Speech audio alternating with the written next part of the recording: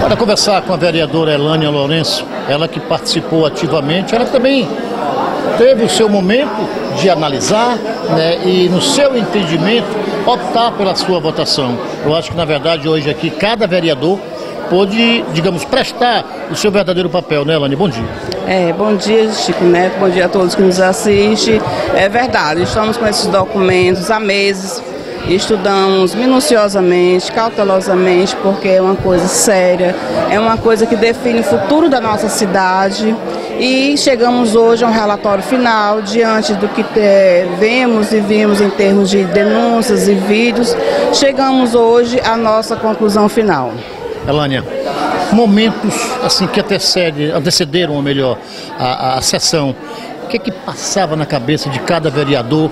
Né? Sabemos que a Câmara hoje lotada, bate aquela, aquela sensação, né? Eu vou entrar nessa sessão e vou fazer o que é certo, né? É isso, esse é o sentimento da gente, esse é o compromisso a partir de quando nós nos lançamos candidatos com propósito e temos essas finalidades de, à medida quando formos convocados, fazer o nosso trabalho que é fiscalizar e julgar.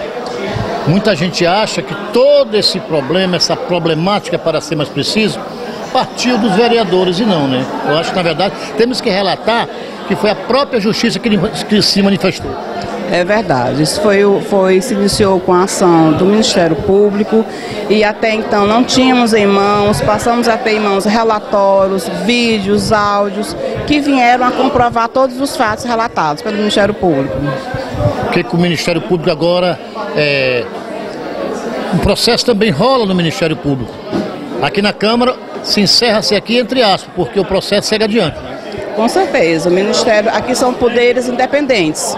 O Ministério Público segue com o julgamento que corre no Ministério Público. Só para encerrar, Elânia, sabemos que nesse momento muita gente esperando aqui os vereadores e que na verdade não é fácil.